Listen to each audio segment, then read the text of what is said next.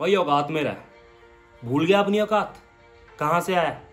कौन से शहर से? है क्या रंग है तेरा? क्या शक्ल है तेरी? कौन सा जेंडर है तेरा? कौन सी कास्ट है तेरी? भूल गया सब? और हमारे बीच में पला भरा तू? हमसे ऊपर कहाँ चला जाएगा? देख, औकात से बाहर नहीं जा रहा है गिरेगा। ज़्यादा ही उड़ रहा है, गिरेगा। अरे है नहीं इसमें। फेंक रहा है तो ये औकात है क्या? औकात ना एक लाइन है जिससे अगर आप ऊपर चले जाते हैं तो आपकी ग्रोथ होती है। और जब ये ग्रोथ आती है ना आपकी लाइफ में, बहुत लोगों की फटती है। और जिनकी फटती है ना, वो आपकी ग्रोथ में लिमिटेशंस लगाना शुरू कर देते हैं, आपको आपकी औकात याद दिलाना शुरू कर देते हैं। पर जब ये लोग आते हैं तो हमारे ऊपर ना एक एक इफ़ेक्ट रहता है इनका। ठीक है? जब ये लोग हमें खींचना शुरू कर देते हैं ना, हमारी ग्रोथ पे लिमिटेशन लगाना शुरू कर देते हैं तो हमारी कहीं ना कहीं ग्रोथ रुकना चालू हो जाती है, क्योंकि हम इन पे बहुत ज़्यादा अपना फोकस डाल देते हैं। हम अपने मेन गोल से हटके हम सारे इन चूतियों पर अपना फोकस जमा कर देते हैं। पर इस वीडियो में मैं आपको बताने वाला हूँ कि ऐसे कौन से चूती हैं जिनसे आपको दूर रहना है? इन चूतियों को कैसे पहचानना है? सबसे बड़ा ऐसा चूतिया आपकी लाइफ में कौन है जो आपकी ग्रोथ रोक रहा है? तो मैंने ना बहुत सही पैटर्न बनाया अपनी लाइफ से, अपने आसपास के लोगों की लाइफ से। मैंने उनसे बात की, अपनी लाइफ में जानता तो मैंने एक पैटर्न निकाला जिससे ना हम उस इंसान को ढूंढ सकते हैं जो आपकी ग्रोथ में लिमिटेशन लगा है। तो उस इंसान को जानने के लिए और उसको अपनी लाइफ से बाहर निकालने के लिए ये वीडियो में मेरे साथ आखिरी तक जुड़े रहिएगा। अगर welcome back to your favourite channel the Abhinav Jain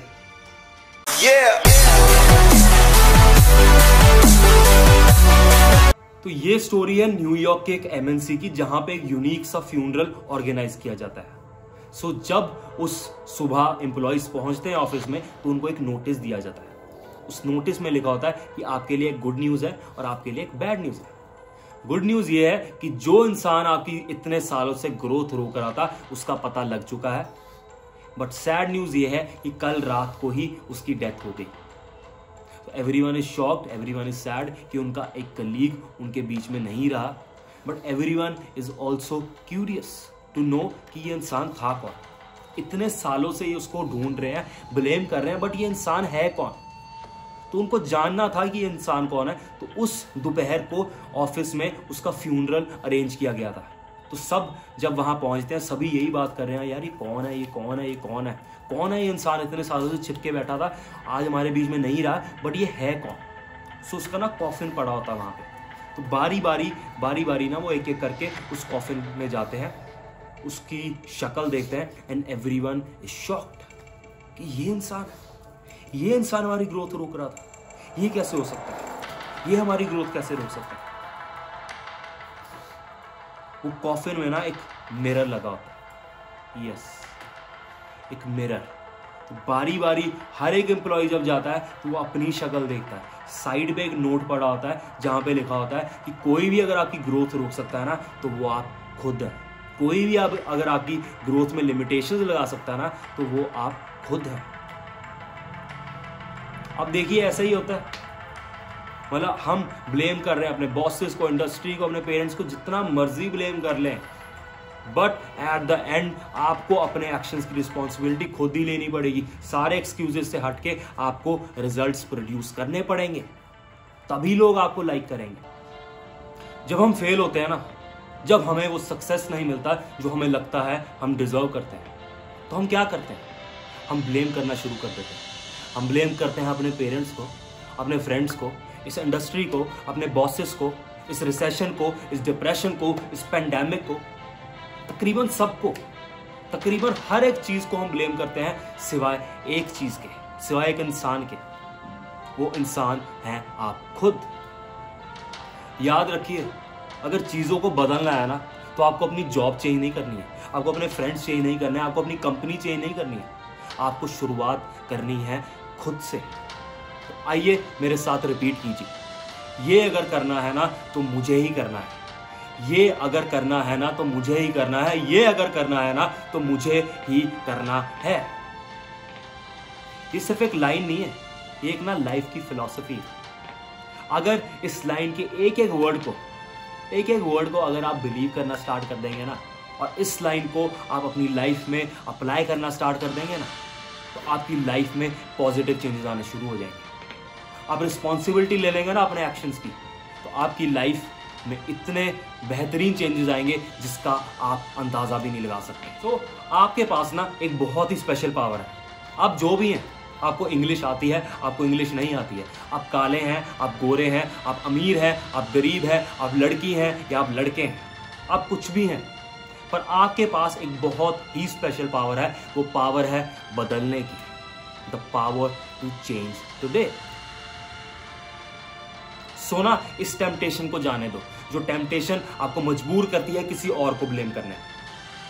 अपनी गलतियों का बोझ किसी और के साथ डालने ताली एक हाथ से नहीं बचती है। अगर किसी ने आपको कुछ एडवाइस दी, आपने फॉलो की तो गलती तो आपकी भी है। कुछ भी होता है ना, कोई भी गलती होती है तो प्लीज़ उसकी रिस्पॉन्सिबिलिटी खुद लो। जब आप अपनी गलतियों का बोझ किसी और के सर पे पाते हैं ना तो क्या होता है? आपका सबकॉन्शियस माइंड होता है ना, वो चीज़ें अडेप्ट करना शुरू कर देता है। वो बिलीव करना शुरू कर देता है कि ये गलती उसी की थी। तो फ्यूचर में जब आप सेम गलती करने जा रहे होंगे तो आप कुछ सीखे नहीं होंगे उस गलती से। एंड वो दोबारा रिपीट करने के चांसेस बढ़ जाते हैं। एंड वहीं दूसरी ओर, जब आप अपने एक्शंस की रिस्पॉन्सिबिलिटी लेते हैं तो क्या होता है?